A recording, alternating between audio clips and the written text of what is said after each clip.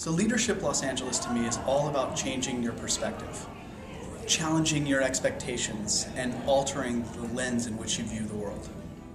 There are people in this program who come from all walks of life, all ages, all ethnicities, all backgrounds, all industries, all areas of Los Angeles County. And I just think it's a perfect reflection of, of what this city is. Leadership LA for me was a real affirmation of the way I see things. Um, I learned new things, but it helped me see things as a generalist. One of the speakers said, you know, I'm a horizontalist in a world, in a vertical world, and that really resonated with me because I'm an artist, I'm an educator, I'm an urban planner, I'm a community activist. Leadership LA has strengthened my understanding of LA's complicated systems, has allowed me to connect with thought leaders, and has deepened my commitment to personally do more.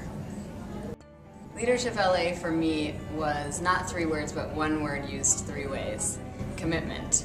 So, commitment to leadership, obviously, um, and learning what that means. Commitment to the city of Los Angeles and understanding all of the things that go into a successful city, and a commitment to other people.